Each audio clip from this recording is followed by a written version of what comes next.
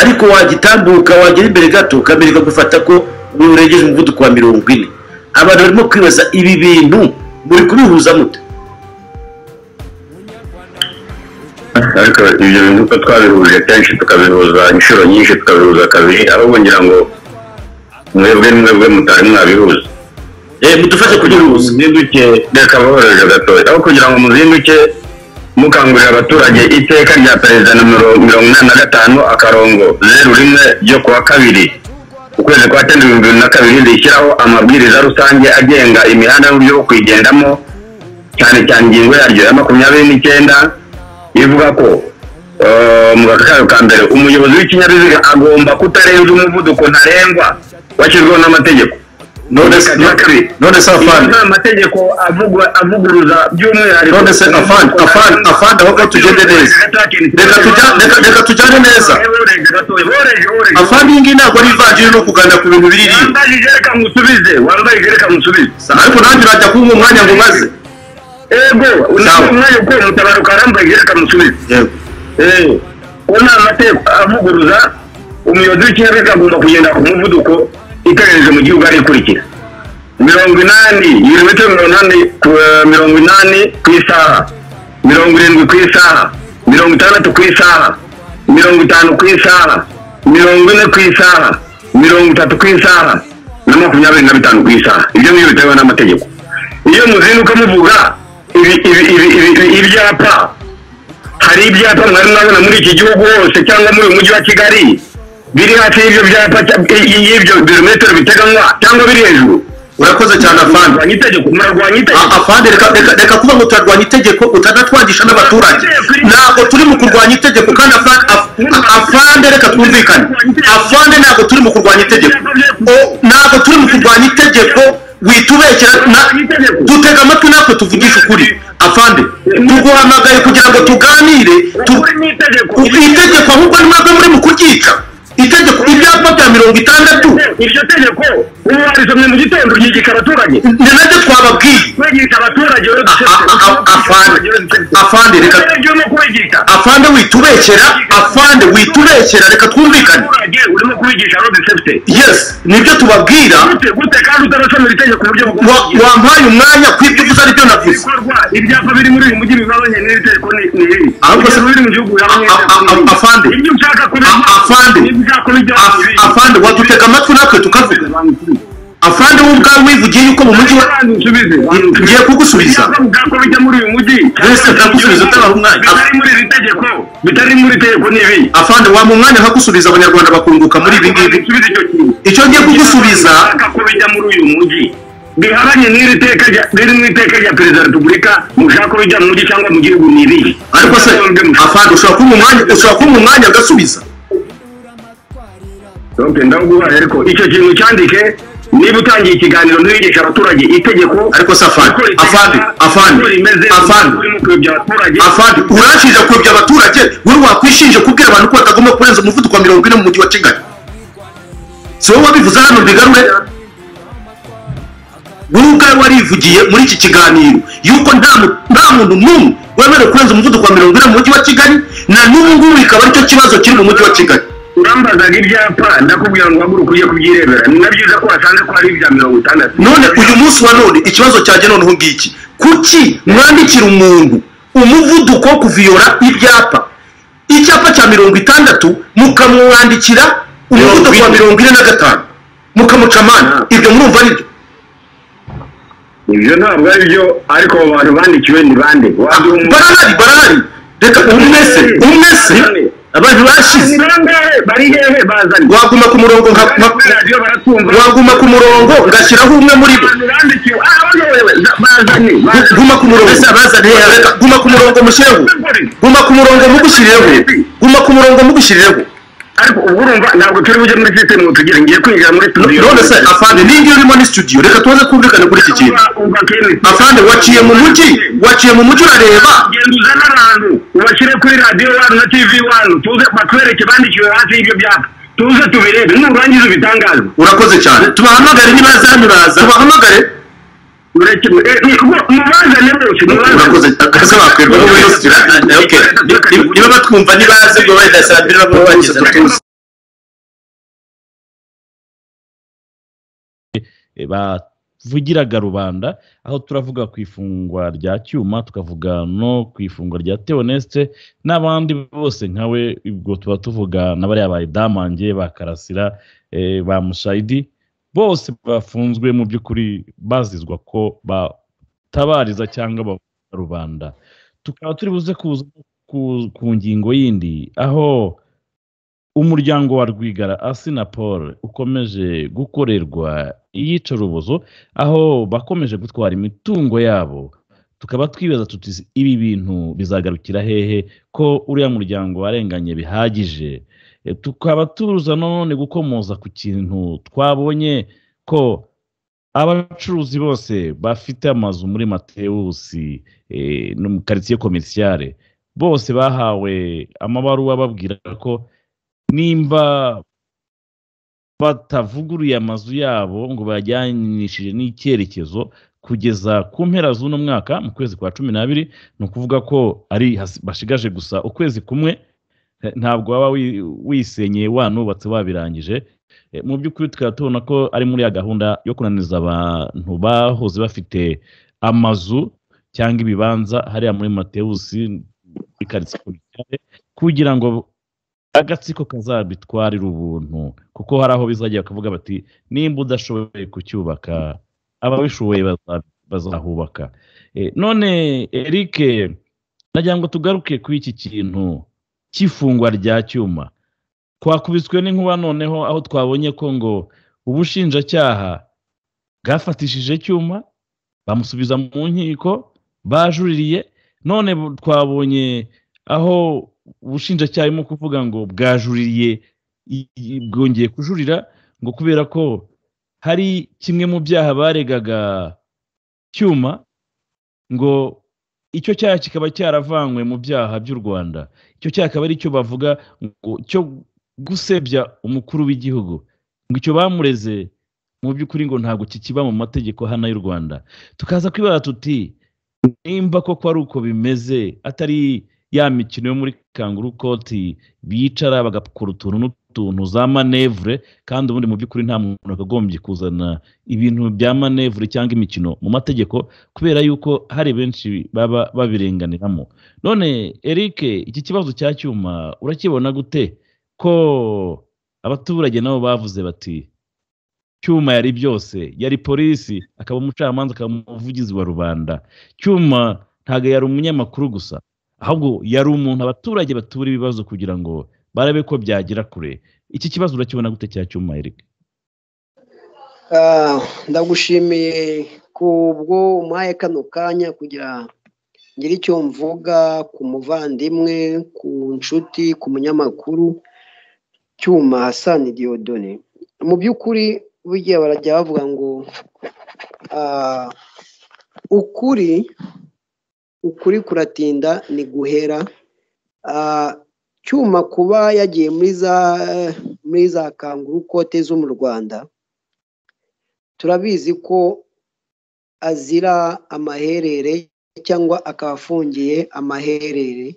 Iyo mvuze ibyo ni ah, inzira imwe ushaka kwereka abanyarwanda aho bari hose ko cyuma ikimufunze si uko ari umwuga w'umunyamakuru.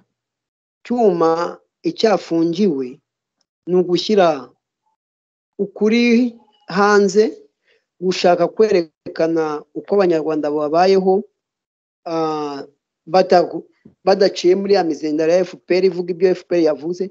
Cyuma ni we mu rwanda navuga ko ah, wagerageje kwerekana umurongo nyawo w'ubunyamakuru bw'umwuga kandi tukaba tuzi ko ah, fpr cyangwa ziriya nyeshyamba tukaba tuzi ko inyeshyamba igihe cyose ntizifuza ukuri igihe cyose ziba zumva ko zakorera mu kinyoma turabizi ko ikinyoma ikinyoma tugifata nka esanseri ukuri tugufata nka sikariye. Ibya cyuma na leta y'u rwanda cyangwa na leta y'agatsiko ni ukwerekana cyangwa kwereka isi aho ukwishyira ukwizana kw'abanyamakuru cyangwa se kw'abakoresha ukuri mu gihugu cy'u rwanda kwerekana aho kugeze. Hariya navuga ko yaba isi yajyaga ikoresha ukuri kose ikakwihutisha kukagaragara. Igihe cyari kigeze cyo kuvuga ngo agatsiko cyangwa inyeshyamba za fpr igihe kirageze zo gushyira ku karubanda zikaryozwa cyangwa ziganirwa ibibi zikorera abanyarwanda. Ariko kuko ukuri bugiye gutindwa guhanwa kurusha uko ikinyoma cyihutira guhana. Niyo mpamvu tubona fpr ikivuruguta mu byaha uko yishakiye kuko abakagombye kuyishyira ku gitutu cyo kuba twayishyira ku murongo nyawo cyangwa tukayishyira aho igombwa ko biri ntekereza ko batari bafata iyo myanzuro. Ari nawo mpamvu ubona umunyamakuru nka cyuma umunyamakuru tewo uri aho ku mubavu abo bose bakaba baragiye bazira gushyira ibyo nk'abanyarwanda koko bakagombye kumva cyangwa bakagombye kumenya. Cyangwa se ibyo leta yakagombye kuba yahindura ari leta ikorera abaturage. Aho kuko turabizi ko leta iriho si leta ikorera abaturage ni leta yaje gutsikamira abaturage. Abananiwe gutsikamirwa bavuga ko bananiwe gutsikamirwa nibo ubona ko baruhukira muri ziriya gereza na zo nzi ko zuzuye. Ababa batabona ko ari ngombwa atari ngombwa kubashyira mu magereza nibo wumva bishwe. Ubwo ku bw'ibyo byose akaba ari cyo kintu tugomba kwibaza nk'abanyarwanda ko tubona ko akarengane kariho kandi ko katazapfa kurangira mu gihe abanyarwanda batagize icyo bakora mu maguru mashya. Bizatubera ibyago kandi ibyago bizafata abana bacu bigafata abuzukuru bigafata abuzukuruza mu gihe abanyarwanda tugomeje kubirebera kuko ntekereza ko ari na mesaje imwe nshaka guha abanyamakuru bo mu rwanda wenda bumva radiyo ubumwe kuko ndabizi ko bayumva. Abanyamakuru bo mu rwanda bamenye ko barutwa n'umuntu utariho. Iyo mvuze abanyamakuru mu rwanda baba bumva abumvuze kandi nabo baba biyizi kuko uri umunyamakuru mu rwanda ukaba utanga amakuru wahawe n'agatsiko cyangwa wahawe ziriya nyeshyamba za fpr ziri ku butegetsi ariko ukaba utatanga amakuru y'ibyakorewe umuturage wo hasi ukaba utatanga amakuru y'abanyazwe ibyabo cyangwa y'abatejejwe ibyabo cyangwa y'abicwa buri munsi cyangwa y'abamanikwa buri munsi ariko ukishimira kuvuga ibyo fpr yakwandikiye ngo uvuge. Uwo ni umunyamakuru mvuga ko ari nk'umunyamakuru uriho kandi atanariho. Umunyamakuru wataye umwanya mu ishuri umunyamakuru wataye umwanya wataye amafaranga y'ubusa ni byo koko? Ubu ngubu fpr yabaha ariko ibaha amafaranga yuzuye amaraso. Ibaha amafaranga iriho ariho icyasha. Kuko ntekereza ko ubuyobozi buhindutse kandi ndabizi ko buzahinduka kandi na byo duharanira ni na byo turimo kubuhindura mu nzira iyo ari yo yose ikwiye kugira ngo nabo ari abanyamakuru bitwa ko ari abanyamakuru bakorera agatsiko. Mu gihe agatsiko kazaba gashyirwa aho kakagombye kuba kari n'abo banyamakuru nk'abariya bakagombye kumenya ko agatebo tuzagiramo fpr agatebo tuzagiramo agatsiko ziriya nyishyamba niko n'abariya abanyamakuru ntacyo bamaze b'umurimbo. Ntekereza ko ariko gatebo twabashyiramo. Kuko iyo umunyamakuru nka cyuma abantu bahagarariye sosiyete y'abanyamakuru bihandagaza bakandika bavuga ati ntibamuzi ntibagize bazi ko yize bazi ko banamukoresheje mu kazi mu gihugu ariko bakita ni nk'icyaha uwo muntu aba agombwa guhita yandikirwa igihe cyose ubutegetsi buzandikira uwo muntu akajya imbere y'ubutabera. Kuko niba uri umunyamakuru uzi ko mugenzi wawe ari umunyamakuru uzi ko ari we bahagarariwe wakagombye kubavuganira ko ukajya kumushimuriza ibirura cyangwa ukamushimuriza inagondwa. Biba bivuga ko nawe ufatanyije icyaha ku buryo buziguye n'ubutaziguye n'izo ariko eric eric ukiri aho hantu eh, urabona bari aba christophe barore bari muri iriya ngo niba ari rmc bamwihakana batamwihakana. Cyuma ni uwa rubanda cyuma buriya ntabwo ari umuntu usanzwe. Eh, mu gatsiko bashobora kwibeshya ko bashobora kumanura izina rye. Abaturage bazi umunyamakuru w'ukuri. Bazi umuntu w'umugabo. Bazi umuntu eh, ukorera rubanda baramuzi. Wabonye ko cyuma yageze ahantu agiye gusura wa mukecuru eh, mu mutara umaze imyaka itandatu yaragonzwe n'imodoka akabura amafaranga yo kugira ngo bajye kumuvuza. Yarahinamiranye. Amaze imyaka itandatu atava aho ari. Ubonye ko wa musaza w'imyaka hafi mirongo icyenda. Yavuze ati cyuma ndakuzi wowe ubwo wageze hano ibibazo birakemuka.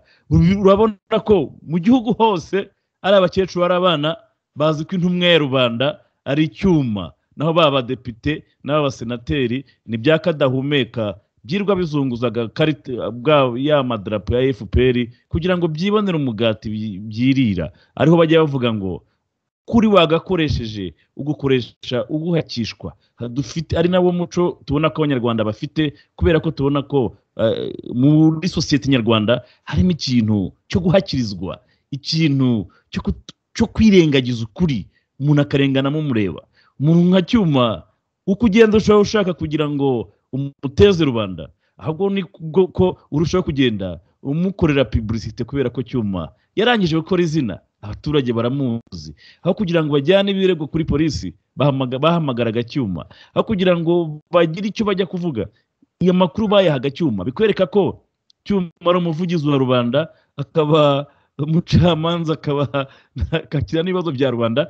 Ukibaza uti igihugu iyo kigeze aho abaturage batera icyizere eh, polisi cyangwa eh, ziriya za ribu noneho ahubwo ugasanga abaturage bis- bisanta areze ugasanga abaturage bibona muri cyuma. Aha icyo gihe bikwereka ko igihugu kiyobowe nabi kugira aho abaturage batera icyizere inzego z'ubuyobozi aho ugasanga nk'umuntu nka cyuma bisangaho babwira agahinda kabo. Iki ni ikibazo gikomeye buriya iyo ufashe umuntu wa rubanda ukibwira ko urimo kumutesha agaciro cyangwa urimo umufunga ahubwo ikintu batamenya buriya barusha kumukundisha rubanda eric.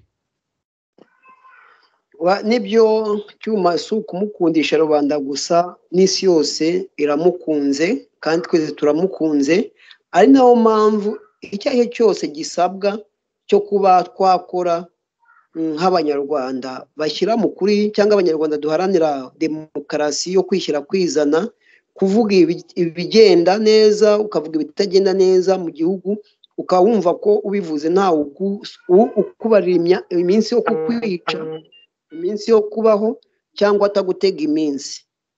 Iyo niyo demokarasi duharanira kandi tuzi ko vuba bidatinze tugomba kuyigeraho kuko ntekereza ko abatangiye urugendo bose siko barusohoza Ah, ariko nzi ko abazarutangira cyangwa abarutangiye batazarusohoza tuzakomeza tubibuka nk'intwari tuzakomeza tubibuka nk'abantu badutangiriye urugamba ntibarusohoze ariko tubaha agaciro bakwiye atari ka gaciro k'inyeshyamba cyangwa k'intagondwa za fpr gashyiraho agaciro nyako ko kumva atari agaciro k'ubujyage cyangwa atari agaciro ko kurenzaho. Ahubwo agaciro kavuye ku mutima no mu bitekerezo agaciro nyako. Kuko ntekereza ko nk'umuntu nka cyuma ejo n'ejo bundi bashobora kumwica kuko bariya ni abantu ni ibyihebe byiturikirizaho ibisasu mu- mu- byo mu bundi bwoko.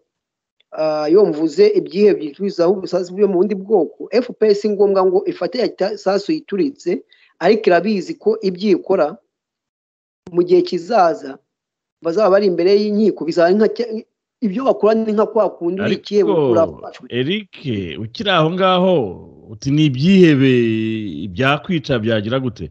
Ariko abantu bagomba kumva ko ikibazo atari ugupfa ahubwo ikibazo ari ugupfa nabo ugapfa uri ikigwari E, ibi bintu fpr yabikangishije rubanda ko bica nabi bagira gute? Urabizi ko ubwo bari bamaze kwica kizito abantu barimo bamusezeraho hanyu abantu basezeye ku murambo wa kizito barengaga ibihumbi.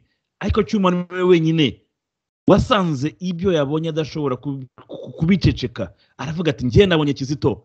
Afite ibikomere bitatu ku matama yombi no mu gahanga. Bigaragara ko kizito yishwe nabi. Barangiza bakabeshyira ngo yiyahuye.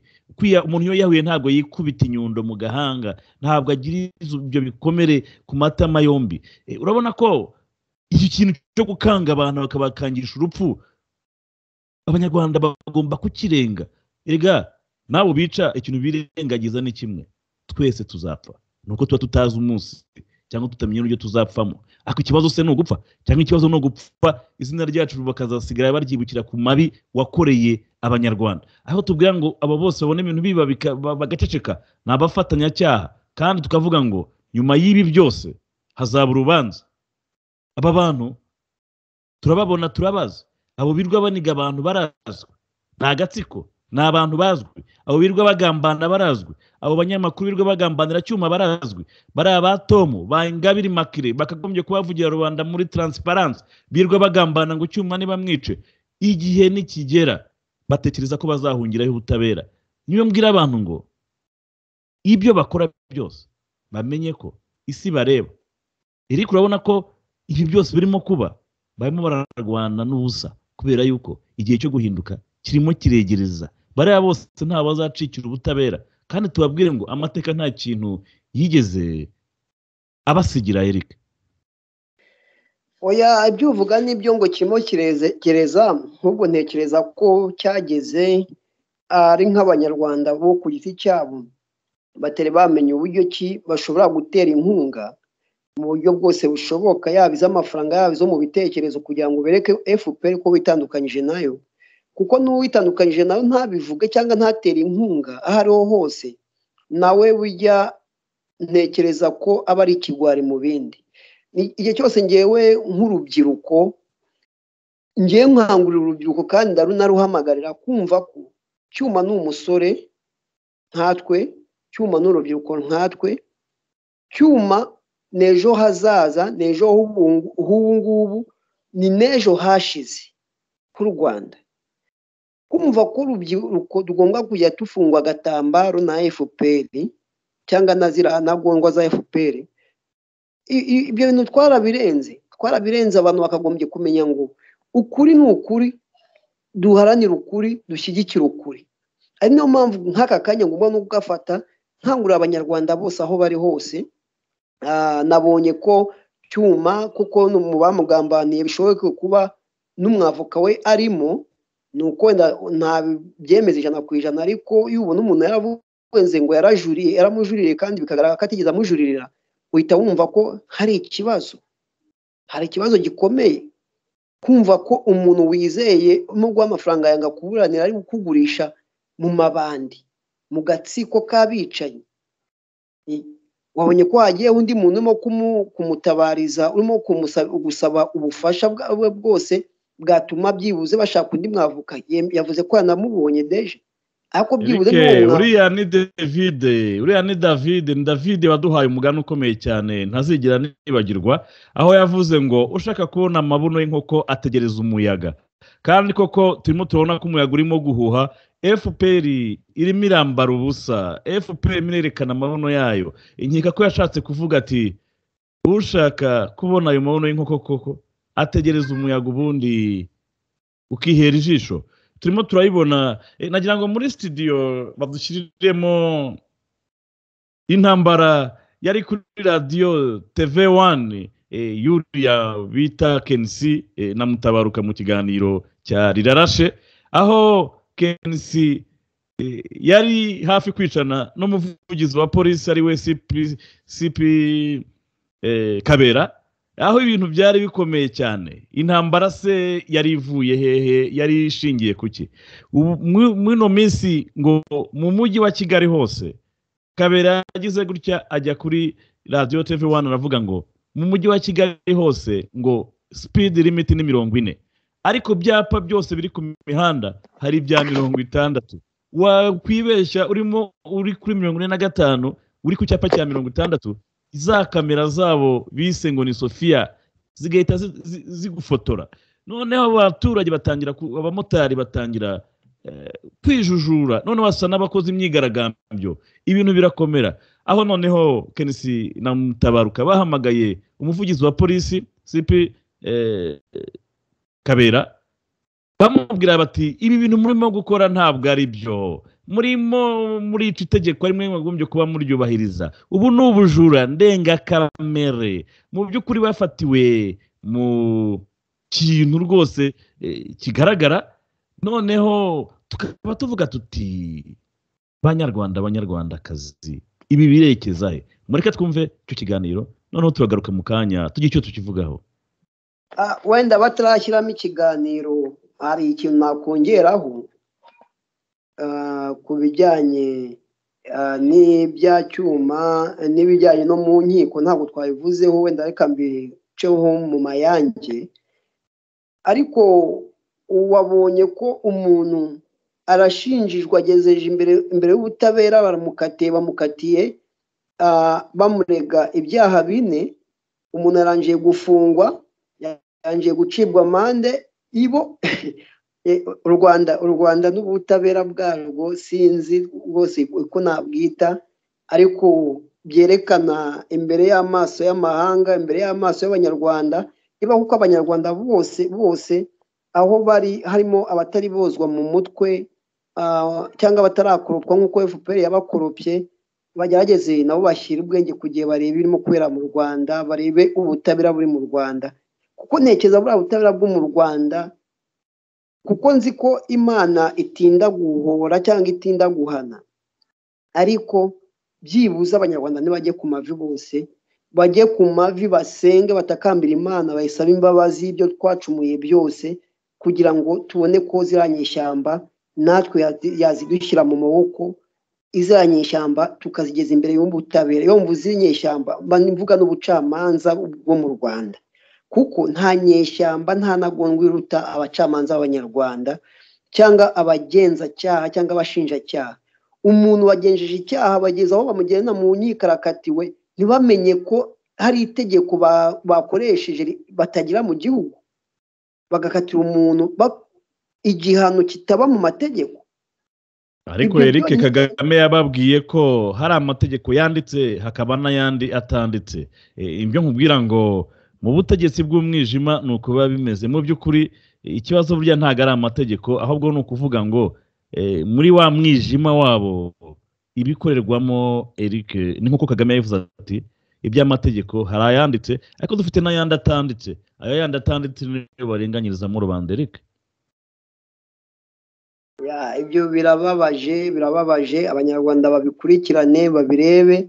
Abanyarwanda bagomba kugira icyo bakora abanyarwanda tugomba kugira icyo dukora. Impinduka zirakenewe mu buryo bwihuse yaba inzira yo yose bisaba inzira iyo yose bisaba faranswa mbivugiye hano kuri radiyo ubumwe abanyarwanda ntibitange ugurisha ibishyimbo bigurishe ugurisha inyanya zigurishe ariko ateganya ko agatsiko kagomba kuvaho.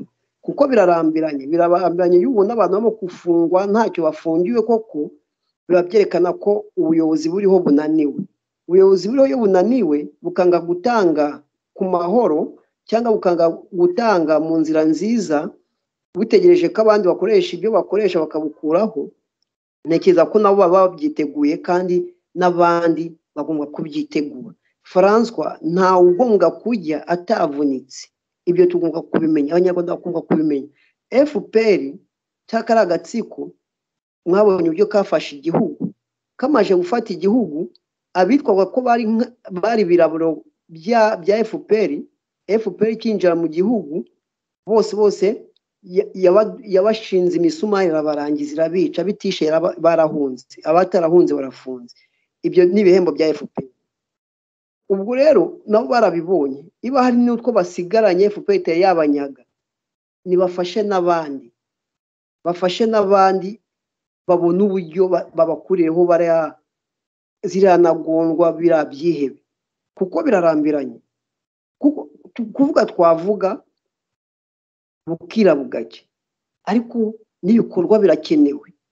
Ibikorwa birakenewe. Ari na yo mpamvu ushaka kubwira abanyarwanda ngo uriya cyuma ibisabwa byose byo kuba bamushakira umwavu kandi iyo yaba avuye he? Bamu- bamuteranyirize baze tumuteranyirize. Cyuma abone ubutabera nyabwo.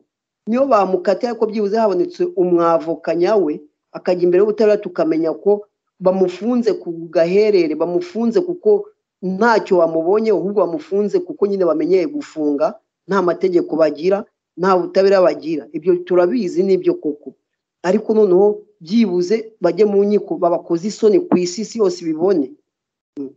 Ibyo ngibyo abanyarwanda aho bari icyuma yakoreye abanyarwanda kandi ndabizi ko azanakomeza kubakorera kandi icyuma kubafunze. Ndasaba abanyarwanda aho bari hose bafite uburyo ki bafungura za YouTube. Bafungure nyinshi nyinshi zishoboka bakore nk'akazi nk'ako cyuma yakoraga. Imana izakomeza kukabahemberamo.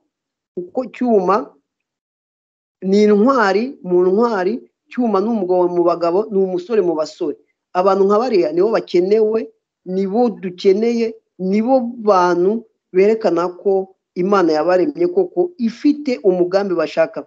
Tureke ba bandi bagiye mu bintu by'umwijima shitani ikabarusha imbaraga bakemera kujya mu gatsiko ka ruminati abo twabihorera kuko nabo ibihembo byabo birategerejwe kuko ibyo ku isi bihemberwa kuri iyi si ibyo byose turabizi. Iby'agatsiko kakora si ukuvuga ko kirengagije ko kazagezwa imbere y'ubutabera kaba kabizi. Niyo mpamvu kagerageza gushoramo benshi kugira ngo bazapfe bisasiye benshi. Ariko nk'ufite ubwenge nka bariya ba- bateruzi bibiri bindi bakagombye kumenya ko aho kugira ngo barakubwira ngo ngo ntawe ukeza abami babiri. Aho ukorera agatsiko ka fpr byaba byiza ushaka wakeza abami babiri. Impamvu muze rino jambo kuri fpr uyikorera keza abami babiri.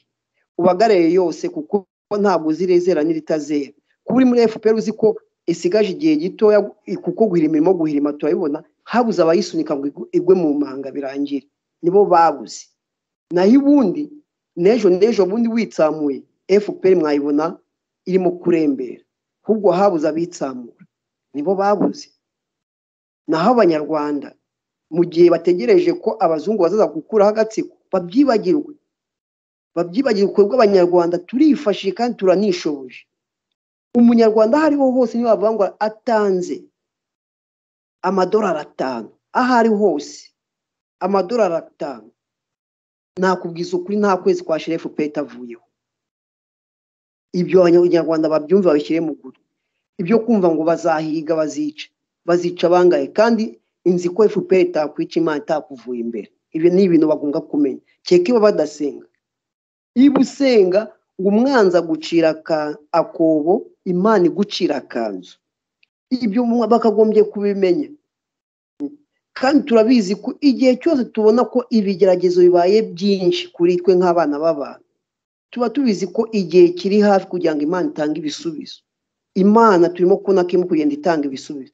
Kuba cyuma Eric aba bantu bose fpr yibeshye ko izakangisha abantu urupfu ariko hari igihe kizagera urwo rupfu rukomera nk'aho rutakiri igikangisho. Erega bari abantu birirwa bakangisha abantu kwica. Bava amaraso nkatwe bavutse nkatwe. Twavukiye amezi icyenda. Ibi byose nkeka ko abantu bagomba kubitekerezaho. Ibintu bigahinduka. Iri terabwoba ryabo bakanga abantu ni abiri kuri abiri. Ntawe ufite amaboko ane. Bose bava amaraso nk'ayo tuva. Ibi birirwa bakora abanyarwanda. Abanyarwanda bahagurutse nabo babibakora gusa tubabwire ngo erike urabona ko eh, agatsiko karangije kubona ko kangije gukora amahano eh, nta gusubira inyuma. Eh, twaba tuvuga ngo icyerekezo cyabo ikibabaje ni abakomeza kubakurikira. Kuko abo mu gatsiko kuko barangije kuba ba rukaraba- ba rukarabankaba eh, amaraso arajejeta mu biganza byabo ntaho bamenera. Ariyo mpamvu ubona barushaho kugenda babyinjizamo n'abandi ariko ikibazo ni ababakurikira babirebera eh, buriya ni byo bavuga ngo none siko ntagahora gahanze uko bizagenda kose hari iherezo ry'ibi bintu. Eh, mu gatsiko barabizi neza ko bitazagumya gutya. Hari iherezo ryabyo. Bariya bose hari icyo rubanda izababaza.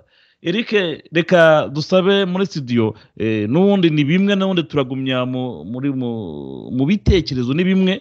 Kuko ibyo mu rwanda byo ntibihinduka ni ibibazo gusa ariko muri ino minsi byo birimo biragenda bihindura isura.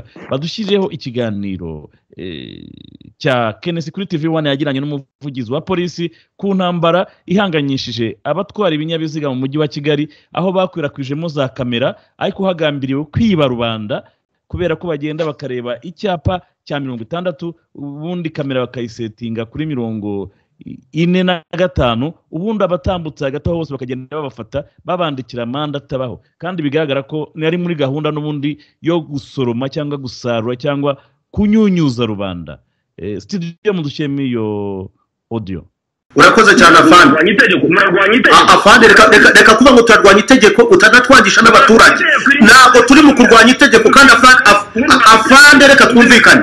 Afande ntabwo turi mu kurwanya itegeko. O- ntabwo turi mu kurwanya itegeko witubekera na- dutega amatwi natwe tuvugisha ukuri. Afande tuguhamagaye kugira ngo tuganire itegeko ahubwo ni mwebwe muri mu kuryica. Itegeko ibyapa bya mirongo itandatu. Iryo tegeko ubu warisomye mu gitondo ryigisha abaturage ni na byo twababwiye. Kwigisha abaturage afande afande reka afande witubekera afande witubekera reka twumvikane. Urimo kubigisha road safety yes ni byo tubabwira. Gute kandi utarasomera itegeko Wa- kugenda wampaye umwanya ko ibyo uvuze ari byo navuze. Ibyapa biri muri uyu mujyi bibabanye n'iri tegeko ni iri. Ahubwo se- biri mu gihugu afande. afande. Afande wadutega amatwi natwe tukavuga. Afande wowe ubwawe wivugiye yuko mu mujyi wa ngiye kugusubiza. Mbese ntagusubiza utabaha umwanya. afande wampa umwanya nkagusubiza abanyarwanda bakunguka muri ibi ngibi. Icyo ngiye kugusubiza bihabanye n'iri teka riri mu iteka rya perezida wa repubulika mushaka ko bijya mu mujyi cyangwa mu gihugu ni iri ariko se afande ushobora kumpa umwanya ushobora ok ndaguhaye ariko icyo kintu cyandike niba utangiye ikiganiro ntiwigisha abaturage itegeko ariko se afande afande afande afande afande uranshinja kuyobya abaturage. Wowe wakwishinja kubwira abantu ko batagomba kurenza umuvuduko wa mirongo ine mu mujyi wa kigali? Si wowe wabivuze hano mbigarure?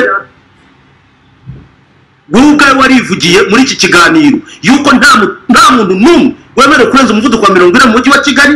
Na n'ubu ngubu bikaba ari cyo kibazo kiri mu mujyi wa kigali.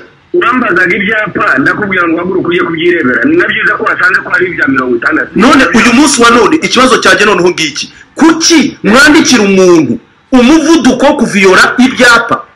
Icyapa cya mirongo itandatu mukamwandikira umuvuduko wa mirongo ine. na gatanu. Mukamuca amande. Ibyo murumva ari byo? Ibyo ntabwo ari byo ariko abo bantu bandikiwe ni bande? Umuntu barahari barahari. Reka umwe se umwe se abantu bashize waguma ku murongo waguma ku murongo ngashyiraho umwe muri bo. Ah guma ku murongo. Guma ku murongo mushyireho guma ku murongo mugushyirireho guma ku murongo mugushyirireho ariko ubwo urumva ntabwo turi bujye muri sisitemu ngo tugire ngiye kwinjira muri studio. None se afande ningi urimo ni studio? Reka tuze twumvikane kuri iki kintu. Afande waciye mu mujyi waciye mu mujyi urareba? Genda uzane abantu ubashyire kuri radiyo wanu na tv wanu. Tuze batwereke bandikiwe hasi y'ibyo byapa. Tuze tubirebe. Nurangiza ubitangaze urakoze cyane. Tubahamagare nibaza hano baza tubahamagare ureke eh, ni- ubwo mubazane bose mubazane. urakoze ese wakwirwa no muri iyo studio Okay. Ni- ni- niba batwumva wenda saa mbiri bageze Eh, murakoze murakoze muri studio Eh, Eric wumvishije ko intambara yari ikomeye hagati ya Kenisi n'umuntu bita na, na Mutabaruka n'umuntu bita umuvugizi wa polisi CP Kabera Eh, wumvishije ko Kabera bamushyize mu mwanya akagombye kuba arimo Eh, twongere tunashimire umuntu bita Kenisi rwose ni byo bajya bavuga eh, yajyaga akora ibiganiro rimwe na rimwe bivugira rubanda ariko eh, akagera aho agera ugasanga ashyigikiye leta. Ariko this time wumvise ko intambara yari ikomeye yatinyutse umuntu bita umuvugizi wa polisi wigize igihangange wirirwa ate- atera ibipinda abanyarwanda kandi by'ubugome. Ariko aka kanya ukabona ko rwose yamwifatiye ku gahanga. Akamubwira ati enough is enough. Ibi ntabwo ari byo abanyarwanda bagomba kurenganurwa. Ubu ni ubujura ni ubwesikoro kandi bugambiriwe. Ibi bintu we wabibonye gute? Ko ibintu bidasanzwe? Ariko twongeye dushimire kenisi rwose eh, washoboye guhangana eh, n'uriya muvugizi w'ibyihebe umuvugizi eh, w'abariya abantu bakandamije rubanda buriya niko tubyita uriya muntu ko ari umuzindaro wa biriya byihebe ariko mu by'ukuri nawe amateka azagira icyo abaza wumvise ko yabuze icyo avuga umuntu yaraje ajya kuri televiziyo ya tv wani aravuga ati mu mujyi wa kigali hose ni mirongo ine ariko ibyapa ni mirongo itandatu ubundi abantu bakabafotora sinakubwira imifuka ya rubanda barayipfumagura. Eriko iki kibazo wakibonye gute ko wabonaga ko abamotari bari batangiye imyigaragambyo abanyamamoto bose banavuze ko n'imodoka za ambasade na zo zifotorwa. Ubona ko ubu bujura noneho fpr niyo byo tuvuga ngo baribye barongera bariba none ariko noneho ubujura bafite buri mu nzego zose bamanutse noneho bagiye no urabona ko aho ibintu bigeze Eric ibi tujya tuvuga buri munsi. Byanshimishije kubona kenisi yabibonye noneho akabivugaho ku buryo kandi bweruye wumvishije ko n'uriya muvugizi wa polisi uretse ko nta soni bagira eh, icyo njya mbona abantu bo muri fpr nta soni bagira. Kuko ibyo bakorera rubanda vurema bakagombye kubihagarika bakagira ukwikosora muri werike Ah, urakoze. Ariko nta ntaravuga ku byo baganiye icyansekeje ni uko ah, uriya muvugizi ah, w'inyeshyamba cyangwa w'igipolisi cy'inyeshyamba yavuze ngo kenisi kenisi urimo kwemeza ugiye wishe itegeko ry'igihugu ugiye ngo kugumura arimo cyangwa- aragumura ngo arimo aragumura rubanda. Cya kintu bakangisha abantu cyuma yabavuze ati hari abantu barimo kurengana ngo urimo urangisha rubanda ubutegetsi. Wumvishije ko kenisi nawe yakiburanye ngo ngo ngo ngo ngo afande afande ngo uramenye utambeshyira ntabwo ngumura rubanda. Ibi ni ibintu biriho ni fagite ziriho murimo muriba rubanda. Ehe. Ibyo ngewe byashimishije cyane kuko nawe kenisi ntiyaripfanye ahise amubwira ati afande si ngewe wishe itegeko rya perezida ahubwo abashyizeho umuvuduko wa mirongo ine nibo bishe ite- itegeko rya perezida w'igihugu. Naho ngewe ndimo kuvuga ibiri ku- kuba cyangwa ibirimo gukorwa. Ibyo kugumura sinimo kugumura. Ah, ibyo byanshimishije cyane kuko byerekanye ko byibuze abantu bose bahagurutse bakajya ba- bamurika ziriya nyeshyamba zageraho zikisubiraho. Zageraho zikisubiraho nubwo zitakwisubiraho kuko burya bajya bavuga ngo ibyaha iyo bimaze kukurenga hagiye ubura uburyo wabyihanamo ni ho n'agatsiko kageze kwihana ibyo niyo twavuga ngo inzira y'amahoro cyangwa kwihana ibibi bigakora ntabwo byashoboka. Ntabwo byashoboka nuko ubwo twebwe twagakoze ibyo twagakoze kujya tugashyira imbere y'ubutabera kuko nako kariteguye kujya imbere y'ubutabera kuko barabizi ko amazi yarenze inkombe Eric ukiri aho ngaho eh, obama ni we wigeze kuvuga.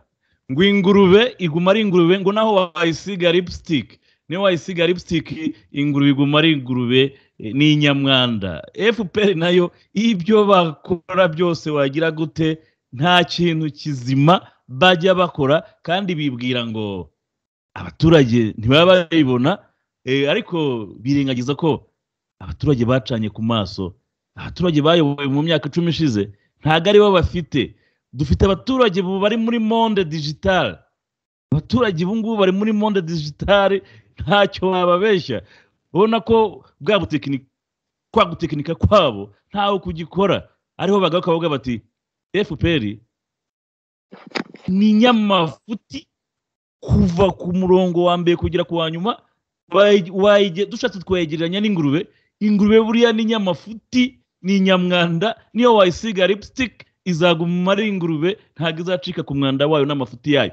Nibyo rero tukwereka ko fpr na yo ntacyo wayisigiriza kugira ngo uzavuge ngo ni nziza. Kandi koko uru ni urugero rwiza. Hagati y'ino ntambara rwose ni urugamba rwari ruryoshye rwari rushyushye ruryoheye amatwi kurwumva aho umuvugizi w'agatsiko ari yari arimo rwose yikunenga hasi ati kenisi kenisi ugomba kuvuga iteka rya perezida wa repubulika. Niba perezida wa repubulika rero batuma kujya kwiba rubanda kujya kumanura za sipidi kugira ngo nuko bakama rubanda uwo muperezida.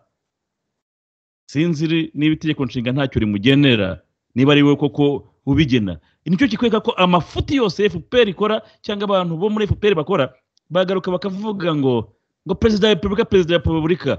Noneho waba ugiye kubacerenjinga ubereka ukuri ngo urimo uratuka cyangwa urimo ngo urangisha abaturage ubuyobozi. Icyo kintu bakangisha abantu ariko eric kigomba guhagarara abaturage bakamenya ko bagomba guharanira ukuri kwabo eric. Ariko si bundi tujye tuvuga ibindi muvandimwe. Kwangisha abaturage ubuyobozi cyangwa kubakundisha. Uri umuyobozi ugakora neza ninde muntu waba ufite ububasha bwo kwa- kwangisha uwo muntu? Kuki fpr yo cyangwa kariya gatsiko kadashyiramo ubwenge yo karimo kuvuga ngo umunyamakuru runaka ngo yangishije abantu ubuyobozi cyangwa umuntu yavuze yangishije abantu ubuyobozi? Uri umuntu uri umuyobozi uzi ko ukora abaturage ibikwiye utabajya imitsi yabo utabica rubozo. Ibundi ni uwuhe munyamakuru cyangwa ni uwuhe mu- umuporotise wavuga ikintu umuturage akanga ubuyobozi. Ubuyobozi bukora ibikwiye. Nose ko ibindi bihugu tubona ko abayobozi babaho imyaka manda zabo zikarangira neza banavaho abantu bakabifuza. Fpr idakoresheje bw- bwa bujura bwabo irara itwara amarangamuntu y'abantu ivuga ngo bemeye gu- gutora ngo perezida bemeye gutora perezida ngo agaseke agaseke ibiki n'ibiki. Ibi byose tuba tubizi ko twanabibayemo natwe twarabikoze babidukoresha ku mbaraga. Ibi byose tuba tubizi. Ntibakajya bakomeza gupfunyikira abazungu uzi ko aba ari abazungu baba bapfunyikira kandi abazungu baba bazi kuturusha uko tubazi naho ibya sipidi byo tumenye ko fpr irimo gushyirirwa amafaranga ayo bari barakuye muri kongo agenda ashira n'ayo biba mu baturage agenda ashira ayo bateza imitungo ya ba rwigara yose agenda ashira Ah, kuko batanga muri biriya binuza bi- iba ari eh, pegusi zijya mu matelefoni y'abaporotisiye cyangwa y'abantu batekereza ko bavuga nabi leta. Amafaranga amaze kubashirana. Niyo mpamvu umuvuduko wa mirongo itandatu bakora bakashyiraho uwa mirongo ine kandi bibagiye ko hari icyapa. Kugira ngo kuko bazi ko ntawe uburana n'agatsiko ni ukuvuga ngo ntawe uburana n'umuhamba? Icyo fpr ikoze niwo bakubwiye umuvuduko wa mirongo itatu. Ugendemo kandi uzi ko umuvuduko wemewe n'amategeko ari mirongo itandatu. Kuko nta hantu warega. Urajya kurega bagushinze ibyaha bavuga ati uno muntu yatinyutse noneho kuza imbere y'ubutegetsi arimo gushaka ko tumusubiza amafaranga twamwibye? Bavuga ko urimo kurwanya urimo kurwanya eh, imishinga ya leta. Erega haya agatsiko k'abantu bumva ko igihugu ari bo. Hari abantu bazi ko kagame ari rwo rwanda. Ni ukuvuga ngo niba tuvuze ngo polisi za kagame ziracuramye ubwo ngubwo ngo uba wanze u rwanda. Ariko this time nanabikunze kubera ko kiriya cya sofiya ibyo bikamera bazanye ngo babyise sofiya ntabwo bireba niba uri umuntu wo muri fpr cyangwa uri umuntu utanga amafaranga mu gatsiko iyo utambutse kirafotora. Niyo mpamvu ubona abantu bahagurutse bakajujura baka- ni ukubera ko cyo noneho ntabwo cyo kizi ni cya sofiya nyine bagitereka aho ngaho ubundi kigafotora igitambutse. Eric tujya tubivuga buri munsi ngo ubona ibintu biba agaceceka ejo n'ejo bundi nawe bikugeraho. Jya nkunda kubisubiramo cyane. Hari umudage eh, watanze kote wanditse kote avuga ati ubwo baje bahiga aba sendikalisite ntacyo navuze kuko ntabwo nari ndiwe ati ubwo baje bahiga abasosiyalisite ntacyo navuze kubera ko ntabwo nari ndiwe ati ubwo baje bahiga abajuwifu ngo babice ntacyo nigeze mvuga kubera ko ntari umujuwifu. Ati ariko ubwo baje bahiga njyewe nta n'umwe wari usigaye wo kumvugira ariko ubona ko ni ho bigeze ba bandi bose birirwaga basherishinga agatsiko abo ba kenisi eh, nubwo bajya bavugira eh, leta bavugira abaturage ariko bakageraho bashimashima ngo ni abantu bananiye kagame ariko ukabona ko nta gishobora gukorwa muri kiriya gihugu kagame atakizi. Ahubwo twakwibaza ngo kera ko yajyaga eh, batekinika utuntu nk'utu ngutu akaba yagaragara akavuga ati ibintu wapi? Ntabwo ari byiza ntabwo ari byiza noneho byagenze gute? Ariko ahantu fpr igeze ikama rubanda nkeka ko ni kwa kundi bavuga ngo bazakama n'ibimasa cyangwa bakame n'ayo mu ihembe. Niho bagejeje abanyarwanda eric. Iki ni ikibazo gikomeye. Ibiba byo ibi biba mu rwanda cyangwa irimo ko wagira ngo kagame yarasutse cyangwa ari mu kiruhuko cy'ubuziraherezo kuko njyewe babya binyubira yo mbona ibiba mu rwanda hajyana igihugu kitagira perezida. Ah, nubwo tuzi ko nawe ari erike wabinsobanurira gute? Nimba sipi kabera ashobora gutinyuka akajya kuri televiziyo akavuga ati mu mujyi wa kigali hose sipidi ni mirongo ine. Kandi ibyapa bimanitse mu mujyi hafi ya byose ari mirongo itandatu. Gusa ubwo ntiwambwira ko igihugu kirimo akajagari eh, turimo turibaza ninde ufite inkoni y'icyuma urimo gutanga amabwiriza? Ahubwo babimenye abanyarwanda bamenye ko barimo kwibwa mu buryo ubwo ari bwo bwose kugira ngo agatsiko kabone ko bwacya bukihera. Ahubwo nyine bagerageze nabo babafungira amazi n'imiriro bafungiye kariya gatsi- kariya gatsiko amazi n'umuriro. Kuko nibagomeza kuyagaha ayo mafaranga niyo gakoresha kajya kujugunya abantu mu magereza mu ki ah, ariko mu gihe bakwiza izindi sitarategi cyangwa se niba bumva ko bashaka guha agatsiko amafaranga bagahe igice batanga ikindi gice ku ahandi bamenye uko bagomba gukora bamenye ko bagomba gukurwa muri kariya karengane kuko ntekereza ko nta leta yabayeho nta n'izabaho imbi nk'iya Ntibizi- ntibizabaho nta nigeze ibaho. Havuyemo fpr imbere kandi niyo izaba iya mbere n'iya nyuma mu bubi bwayo kuko nta nkuru nziza fpr izavaho isize imusoze ntayo. Ibyo abajya babyumva yaba abayishyigikiye yaba abakoropwe mu bwonko abakoropwe mu mutwe batagitekereza bamenye ko bayishyigikiye ariko bazi ko bayishyigikiye bitewe n'ibyo ibaha n'ibyo ibabeshesha cyangwa no kuba bumva ko fpr ariyo yabaremye aha kuko hari abantu bibagirwa ko imana iriho basenga cyangwa bakaramya fpr abo, turabazi kandi bariho. Ariko abo nabo igihe igihe kizabereka igihe kizabihanira. Kuko burya hari ibintu tujya tuvuga bakagira ngo turimo kuvuga kuko nda- tubifitiye umwanya munini nta bindi dufite byo gukora. Ibyo gukora ni byinshi turabifite. Ahubwo kuba tuba twatanze umusanzu nk'uyu tugira ngo tubwire abanyarwanda ibirimo kuba bagom- bagombwa bafu- bafungura amaso cyangwa tubafungura amaso tubereke aho isi igeze.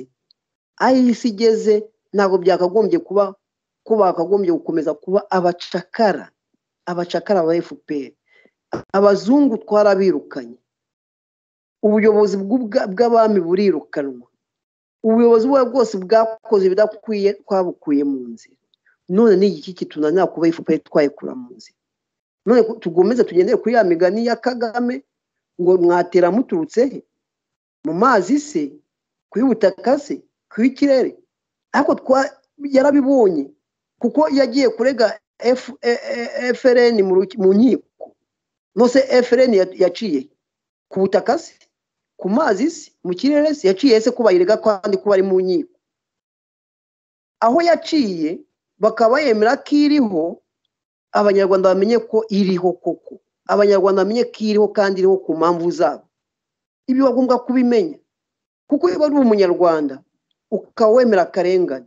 Ni uko ushyigikiye ko ikibi kigomeza kuyobora igihugu cyangwa icyaha cyayogoje igihugu cy'u rwanda kigomeza kuguma hari icyaha abanyarwanda nta bwiyunge bazigira bagira ku bw'impamvu za fpr ku bw'impamvu za ziriya nyeshyamba tugomba kumenya ko abanyarwanda twabagaho twishimye abanyarwanda duhinga tweza abanyarwanda ukora icyo wumva wifuza gukora ukavuga n'icyo wifuzaga kuvuga bitandukanye n'ubu. Kandi ubu ngubu ariho isi aho igeze aho tekinoloji iri ariho twari twemerewe kuvuga ukavuga icyo wumva umutima wawe washatse kuvuga icyo warose washaka ukabyuka mu gitondo ukakivugira kuri radiyo cyangwa ukakivugira aho ushaka kukivugira. Ariko kubera agatsiko kumva ko icyo tuvuze cyose cyose kikabuza ahantu bitewe n'ibikosa bakora cyangwa n'ibyaha byinshi bafite niyo wavuga ugiye kubashima uba utararekanye ijambo bakakubita isasu mu mutwe. Niyo wavuga ugiye kubataka bakujugunya muri purizo ijambo utarariretse. Ibyo bagomba kumenya ko abanyarwanda bagomba kubaho bazi ko hari abacunguzi hari abantu biteguye gukora buri kimwe cyose kugira ngo igihugu tugishyire ku murongo cyangwa igihugu gishyirwe ku murongo mu nzira nyayo. Burya hari ikintu dutinya kandi tugagombwa kuzakibamo. Na kagame ku giti cye yarivugiye ngo politike ntuyivukana ahubwo politike uyisangamo. Ibyo dukora uku ibi byose tubyisangamo bitewe n'ibihe? Tubyisangamo bitewe na situwasiyo turimo n'ubuzima fpr yadushyizemo kuba perezida bababwiye ibyo mugomba abaturage b'abanyarwanda mugomba gufungura umutwe mukamenya ko ibyo turimo si politike kandi politike wanga kuyikina utayikina urabyuka ukayisangamo kuko ni byo biryo turimo kuko fpr iyo witsamuye kureka ariko ukiri aho ngaho? Nibyo tujya tubwira abantu ngo twebwe ntabwo dushaka kujya muri politike.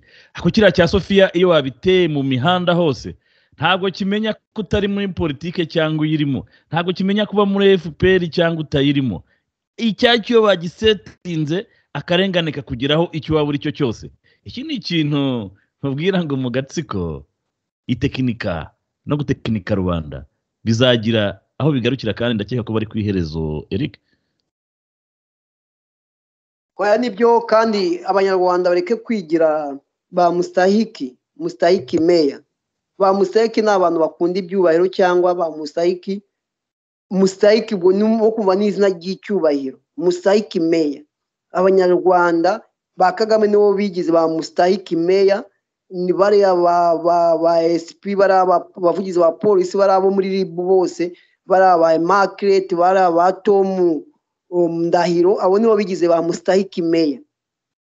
Bazakurikira amateka ya musitahiki meya byamubayeho ariko burya amateka y'abanyarwanda yisubiramo umuntu bita tomu ndahiro ntahataniye na kantano. Eric buriya njya nkubwira ngo hahinduka ingoma ariko hari igihe usanga amateka agenda yisubiramo. Umuntu uzajya ubona umuntu bita tomu ndahiro ujye uhita wibuka mu bihe byashize umuntu bitaga kantano. Ibihe byisubiramo kandi turabyiteguye ko biri hafi kwisubiramo ayo mpamvu nka ba tomu ndahiro bujuje ibifu baba bakora n'amasiporo kugira ngo ibitanda byo muri gereza bajya babona uko babijyamaho bibakwire kuko ni ho bishya bishyira kandi nanjye wenda ntara mvuge kuri kenisi wenda ho gakeya kenisi burambye simwemera ijana ku ijana ariko igikorwa yakoze ejo bundi ni igikorwa cy'ubutwari igikorwa atari ukuvuga ngo ntitubijyane mu rwego rwa politike duzi ko umuntu yavuze akantu gato abantu babyerekeza muri politike umuntu nakora icyiza ari umusirikare ari umusiviri tuzajye tumushimira icyo yakoze tutabishyize mu rwego rwa politike ngo tubishyireho imbaraga cyane ahubwo dushimire buri umwe wese icyiza aba yakoze impamvu uvuze ibyo ni uko nawe makireti cyangwa tomu ndahiro bahagurutse bakavuga iby'ukuri nabo twabashima ku byo bavuze ariyo mpamvu mboneho akanya nk'aka nshimira bari abanyamakuru ba televiziyo wani na radiyo wani tivi teni na radiyo teni ku by'ubutwari ni wane ni tivi wane tivi wani oke ku by'ubutwari n'ubushishozi bakoze ni byo kuko bagomeze banakangurira abaturage bamenye ko fpr irimo kubakamura no gukama ikimasa ibyo bagomba kubimenya. Ariko nabo babyitondemo babijye babivuga mu bushishozi kugira ngo bazagire ibihe igihe kinini cyo gukomeza kuvugira abaturage kuko ntekereza ko iyo uri umunyamakuru akazi kawe uba ushinzwe kenshi nawe gutanga inkuru nyayo inkuru itari ivumbi kandi inkuru y'ukuri atari inkuru yo kubeshya hari abakenisi bavuze ni byo kubaha bikapu barakoze cyane ni intwari turabibashimiye kandi bakomereza aho ntibacike intege cyangwa ngo polisi batere ubwoba kuko ukuri igihe cyose kuzatsinda ikinyoma ibyo abo bantu bose barabizi aho bari hose kandi urakoze faransa eric murakoze nagira ngo tujye ku ngingo ya nyuma aho tuze tuje nanone tuvuga kuri kiriya kibazo cy'umuryango wa rwigara. Twabonye urubanza ejo bundi bari barimo barimo bavuga bati ibi bintu turabirambiwe umuntu urimo ushaka imitungo yacu. Nakora icyo ashaka gukora birangize kuko n'ubundi nta gisigaye. Kongeye kubona nimugoroba odiyo ya adeline rwigara avuga ko noneho yakubiswe n'inkuba ahantu bafite imitungo hose basanze ngo bacukuyemo imyobo. Noneho turimo turibaza tuti kagame ko yaba yamwiciye umugabo? Kagame ko yabatwaye uruganda kagame arashaka imitungo yabo yose kuzageza no ku nzu baryamamo. Niba se ari gushaka gutwara imitungo ya rwigara ko ikiyovu cyose azagitwara? Turimo turibaza uko bizarangira. Uriya rwango uriya mujinya kagame afitiye uriya muryango bizarangira he? Eh, ntabwo ari bo bonyine gusa kuko twabonye ko eh, nabo ari abantu muri matewusi na karitsiye komerisiyare nabo bahawe kugeza mu kwa cumi n'abiri gushira. Kuba bisenyeye cyangwa bubatsemo ngo inzu z'imiturirwa. Ibyo na byo ntabwo bishoboka ni andi marenga ni ibindi birimo guca amarenga ko bagiye gusenyerwa kandi kuzashobora kuhubaka byo birumvikana ko bidashoboka cyane cyane ko na- n'aho wabyubuka utazabona icyo ukoreramo kubera yuko ubucuruzi bwinshi bwimuriwe muri ya mazu yabo mu gatsiko. Ibi ni ibintu bikomeye cyane. Mugomba kwitegura ko ntimubone ngo ni umuryango wa rwigara gusa mu mpera z'umwaka hari benshi bazaba barimo barira. Amarira azaba ari menshi ubwo bazaba batangiye gusenya eh, matewusi iriya karitsiye komerisiyare Eh, urabona ko hari umugambi muremure w'agatsiko gutwara ibya rubanda kubera yuko ziriya za karitsiye matewusi za eh, karitsiye komerisiyare bariya nibo bantu ba mbere babaye abatunzi ba mbere mu gihugu cy'u rwanda. Iyo tuvuze ngo amateka ajyanye n'iby'ubucuruzi ni hariya atangirira. Bakaba bashaka kugira ngo bahatwarire ubusa. Ibi byose urabona ko erike twabibwiye rubanda. Tubabwira tuti birimo biraba ku bantu mugaceceka ariko ejo ashobora kuba ari wowe. Kakanya ndakeka ko muri matewusi cyangwa ukaritsiye komerisiyare hariya ni ibibanza byinshi cyane. Gushaka kubyubaka nka new york ubwo nabo mu gatsiko bashaka kubitwara. Ubona ko abanyarwanda baracyarira erike kandi ibintu birakomeye. Abanyarwanda nibadahaguruka twarababwiye bagumya guceceka. Aho nagarutse kuri cya kintu cya wa mudage aho umudage yavuze ati baje bahiga aba- abasendikarisite ntacyo navuze kuko sinari ndi umusendikariste Ati, baje bahiga abasosiyalisite njye ntacyo navuze kuko ntabwo nari ndiwe baje barimo bahiga abajuwifu ntacyo navuze kubera ko ntari umujuwifu atari ko igihe baje baje kumpiga we. Nta n'umwe wari usigaye wo kumvugira. Ibi ni byo tubona bitangiye kuba bitangiye kugera ku bantu bose kuko buriya usenya karitsiye Mate- matewusi na, na hari muri karitsiye komisiyari hose ni ikintu kinini kandi kizakora ku bantu bizagira ingaruka ku bantu benshi. Ibi bintu ukabona ko agatsiko kiyemeje kumarama- kumaramaza kubera kubona ko bo bari muri cya kintu tuzita ngo ni homba homboka. Aka kanya mu gatsiko eh, kagame n'agatsiko bo bariteguye gukora icyo ari cyo cyose muri homba homboka ntacyo bibabwiye wagira ngo barimo barakora nk'abafite ikintu bikanga sinzi ikintu icyo barimo gukora. Kuko uku kwiteranya na rubanda hari icyo bishaka kuvuga.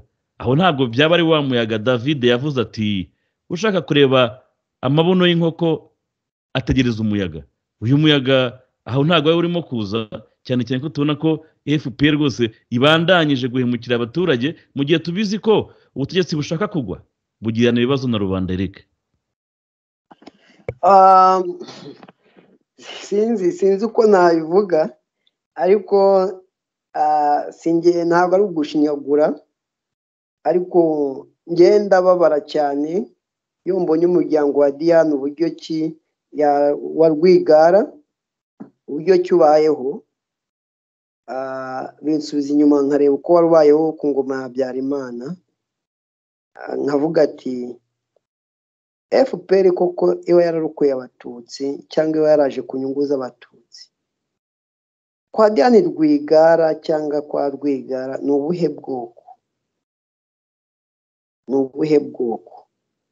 Ah, kuko igihe cyose ngiye njya nibwira abanyarwanda ko ubwoko ubwoko yari inuza yari nka sinye yo kumenya kwishyura ukwizana k'umuntu ubwoko bwahaga umuntu kumva ko mugenzi wanjye mu gihe duhuje ubwoko akabura amafaranga y'ishuri nshobora kuyamuha kuko no kwihutuza cyangwa kwigira umututsi byabagaho ah, hari benshi tuzi kandi nkajya mu gihugu cya kenya ahaba amoko mirongo ine mirongo ine n'ane ariko ukabona abanye neza batitaye ku bwoko icyo ari cyo kandi ubwoko bakabwemera bukavugwa no mu mashuri bukigwa ariko bukaba butateza ikibazo icyo ari cyo cyose mu rugo hose turimo ubwoko burimo. Ah, iki cyo nshatse kubivugira abanyarwanda twese ubwoko turi icyo turi cyo uri umutu uri umututsi uri umutwa sintekereza ko fpr yaje hari ubwoko ije kurokora. Ntekereza ko fpr yaje ije gukubura icyo ari cyo cyose cyangwa buri umwe wese ititaye ku bwoko buri mu gihugu cy'u rwanda. Yaje ije koza. Impamvu mbivuze uko nuki yaba habaho ko fpr yari yazanywe n'ubwoko runaka kubukiza. Tekereza ko umuryango wa rwigara uba ubayeho nk'uko perezida abayeho w'u rwanda. Bitewe n'iki? Rwigara n'umuryango we habyarimana yabaye buri kimwe cyose baratunga baratunganirwa baba bakire mu rwego rwo hejuru. Habyarimana atitaye ku bwoko ubwo icyo bari cyo. Ibyo mubikoteho mubikoteho ntabwo ndagira ngo hagire ababifata nabi. Babifata uko urimo kubivuga kandi nujya kubivugaho nawe abanza abitekerezeho asubire mu mateka yanyu y'ahahise. Barebe abatutsi uko babayeho ku bwa habyarimana. Impamvu mvuze reka nkoresha ijambo abatutsi. Ni uko abatutsi bavuga ko barenganywe ku bwa habyarimana. Bongere basubire inyuma barebe abatutsi uko bariho ku bwa habyarimana. Barebe ibyo bari bafite ku bwa habyarimana n'ibyo bafite ku bwa kagame. Barebe abatutsi wenda banyazwe na habyarimana barebe n'abanyazwe na kagame. Abantu bashyire ku ntuza ku munzani. Barebe ngo kuri abo babiri abo baperezida babiri ba- ba- umwe uriho n'undi wabayeho. Ni uwe wakundaga abatutsi ni uwe utarigeze akurikirana ubwoko. Ni uwe ukurikirana ubwoko. Ni uwe urenganya abantu atitaye ku cyo bari cyo. Ni uwe wafashije abantu atitaye icyo bari cyo bari cyo. Ibyo byose abantu bamara kubishyira mu nyurabwenge bahita bavuga ngo dusengere umuryango wa rwigara dusengere umuryango abantu abo ari bo bose bari bakize ku bwa Habyarimana bitwa ko bari abacikacumu. Kuko ndabona ko fpr ishaka guhirima ari uko nabo irangiye kubahirika. Bafashije fpr mu buryo bwose bayihaye inkunga zishoboka ku byo habyarimana yabahaga na access habyarimana yabahaga zo, gukora nka mirongo ingahe mirongo itanu ku ijana bayihaga fpr mirongo itanu ku ijana bubaka ayo mataje fpr irimo kubanyaga abantu bagasubira inyuma umuntu yavuga kuri radiyo cyangwa he kuri televiziyo akavuga ngo umuntu runaka arimo gupfobya jenoside. None nk'abanyarwanda tuzavuga ngo ninde upfobya jenoside yica abayirokotse cyangwa anyaga abayirokotse? Niyo mbonye umuntu nka tomu ungana kuriya kuko pe kuri njye yarambyaye nkabona ubunini afite ariko nk- nkabona ibitekerezo afite nkavuga ati kuki imana abantu nka bano itagira ahantu handi bashyira ku buryo itabahuza n'abantu nyabana? Eric hari abantu bungukiye muri iyo jenoside. Hari abantu babonye ibiraka hari abantu babonye akazi hari n'abantu babonye agakoni batsindagiriraho. Ntabwo natinya kuvuga ko fpr jenoside ari akabando yasindagiriraho muri ino myaka makumyabiri n'irindwi kugira ngo ishobore gucanishamo abanyarwanda. Ubundi muri cya kintu bita ngo divize porurenye gutandukanya abantu kugira ngo ushobore kubayobora. Ubundi uzamuye ukamukubitisha inyundo. Nk'uko yabivuze ko eh, we bibaye ngombwa kwica umwanzi yakora ni- n'isazi ngo yayicisha eh, inyundo. Bikwereka uh, rya terabwoba eh, bateye muri rubanda ariko nkeka ko ririmo kugera ku iherezo kubera yuko bajya bavuga ngo iyo urwaje ibinyoro iyo umuturanyi arwaje ibinyoro ugura ingobyi. Kandi inkoni ikubise mu cyebu yirenza urugo. Ibi twereka ko ibyo ari byo byose iyo tuvuga ko umuryango wa rwigara tuba tuvuga ni urugero tuba dutanga rugaragara. Hamwe tuvuga ngo ni iki cyiza waba warakoreye fpr ku buryo ibyo ukorera abandi we bitazakugeraho? Ibi ni ibibazo bikomeye cyane. Ejo bundi mwabonye ibintu yakoze mu bukwe mu bukwe bwa nyakwigendera eh, fred gisa rwigema abeshya ngo yari inshuti ye ariko imipfiri ya rwigema bamwe mu bahoze mu nkotanyi bakaba bavuga ko yishwe.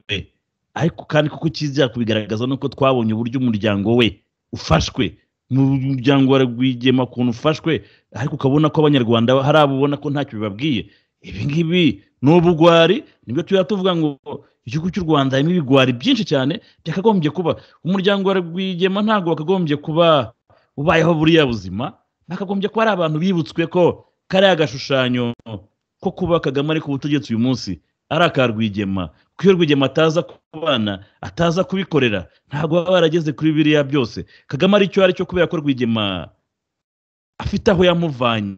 Nk'uko babitubwiye ko yamuvanye i- kampala ku sitiriti kugeza ubwo amujyanye mu gisirikare. Ariko aka kanya ukabona ukuntu umuryango we bawucura bufuni na buhoro. Bikwereka ko erega ba bamotari bigeze ku- ku- kuvuga bati fpr ntawe uzayikumbura.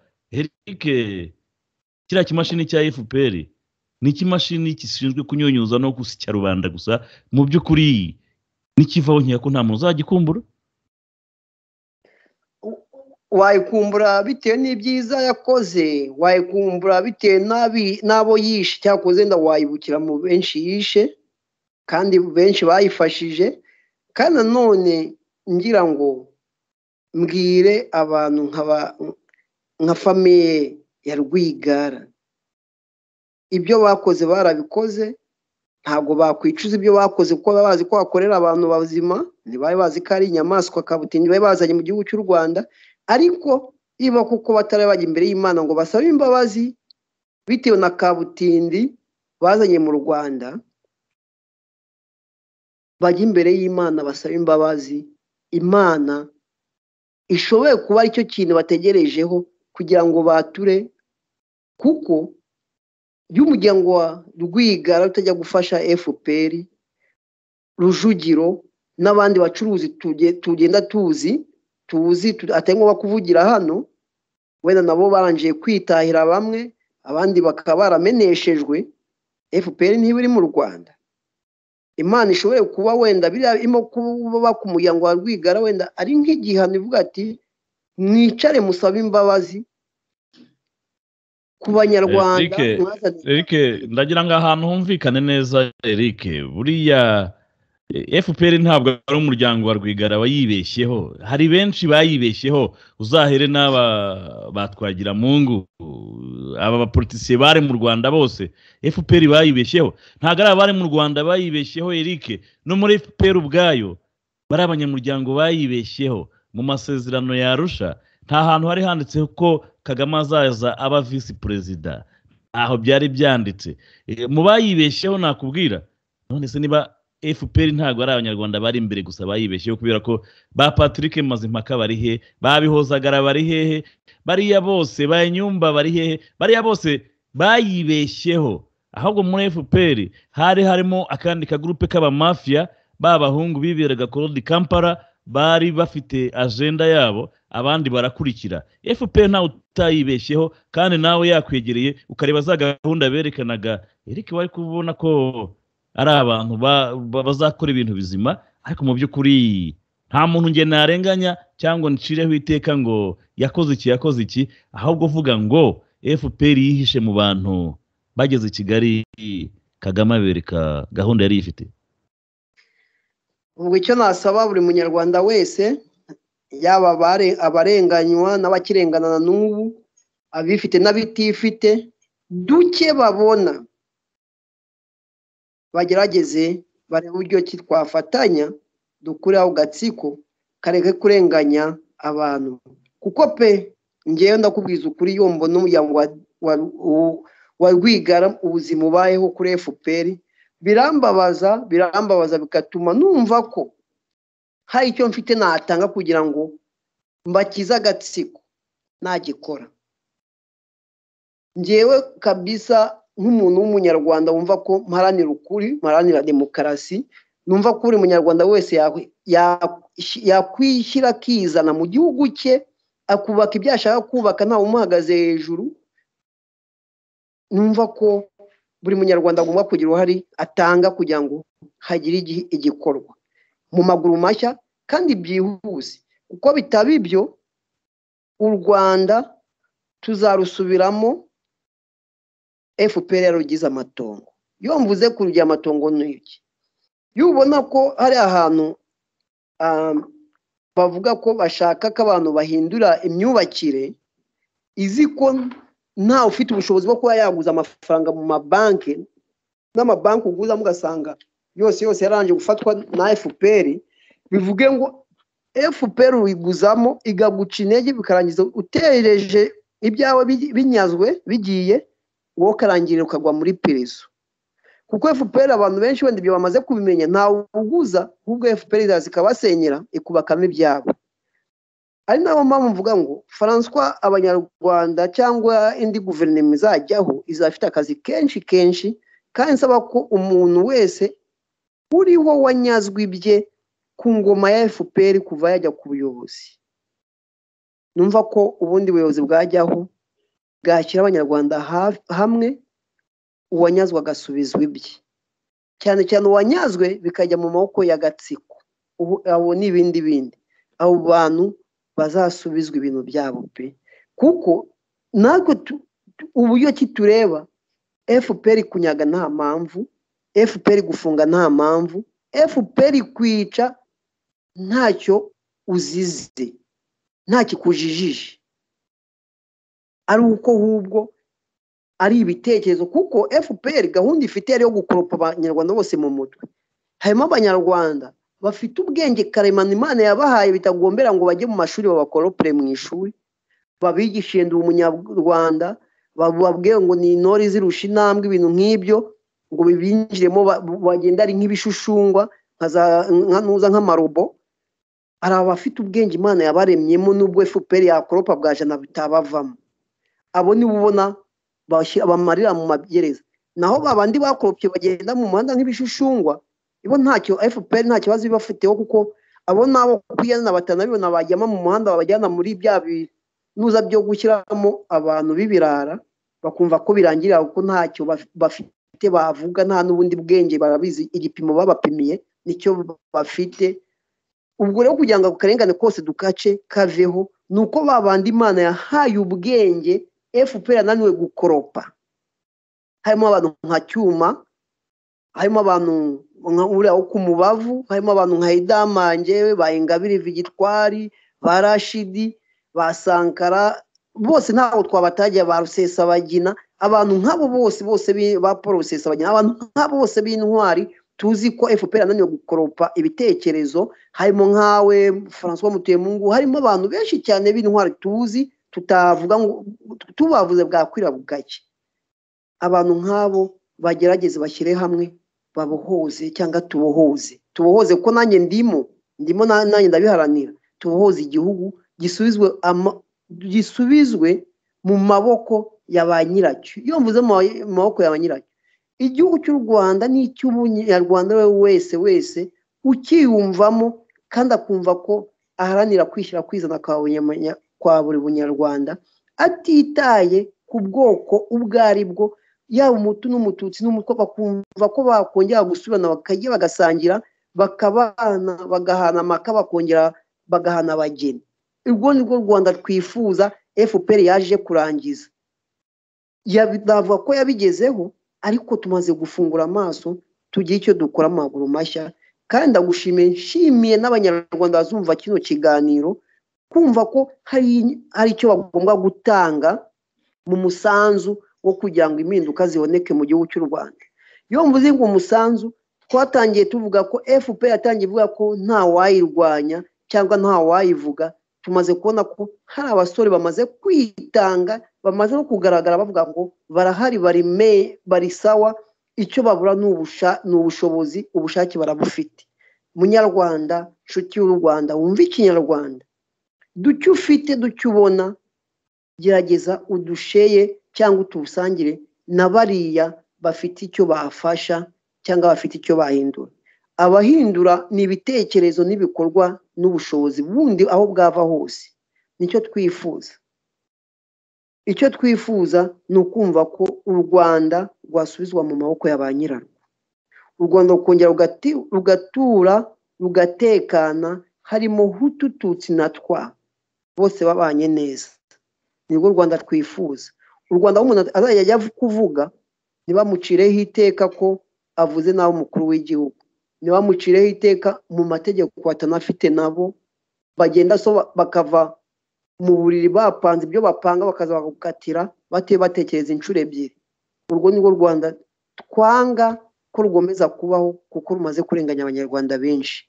Runabasanga n'aho bibereye kandi tuzi ko umunyarwanda ahari igihe cyose yataha kuko igihugu ni icye igihugu ni ni gakondo y'imana yamuhaye. Kuba rero fpr igifata nk'akarima kayo ibyo birarambiranye. Ibyo birarambiranye.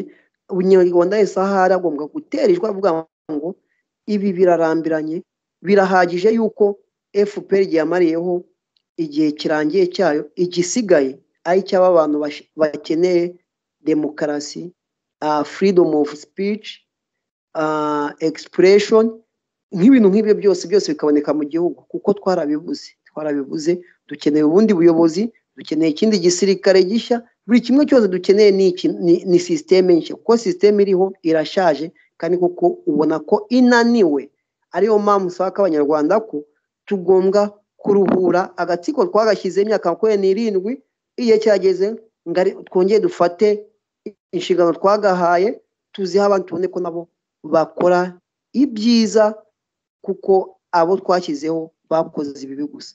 Murakoze kandi ndashimira umuyobozi wa radiyo ah, uyoboye ikiganiro ari we francois mutuyemungu nshimira n'abari ku buhanga bw'ibyuma bya radiyo ubumwe nsezera no ku banyarwanda mbifuriza amahoro ni- n'imigisha itagabanyije kandi mbasaba ngo bagomeze basenge kugira ngo fpr byibuze n'iyo urugamba rw'amasasu rutabaho ariko mu rugamba rw'amasengesho tuzi ko imana imana ariyo ifite buri kimwe cyose ifite gukuraho fpr batagombye abanyarwanda kongera gusubira mu nzira y'amaraso.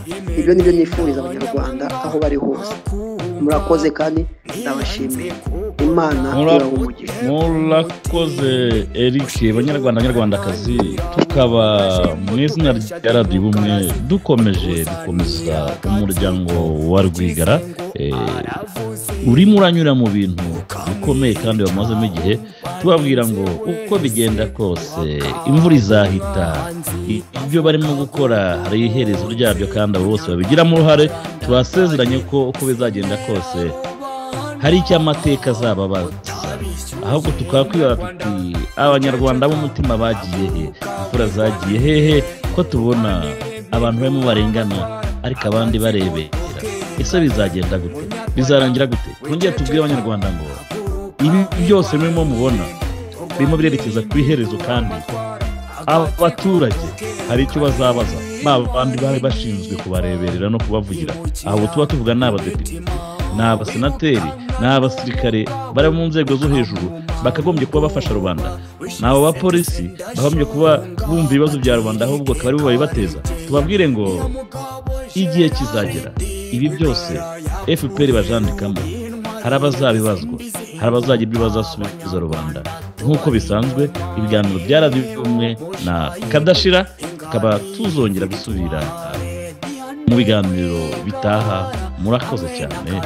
Yari francois mutuyemungu afatanyije na ekipe tekinike naho Sankara wishe kizito mihigo ugira ngo urabirangije bidateye kabiri idama ryaravutse rihoboresheje umwana umusizi.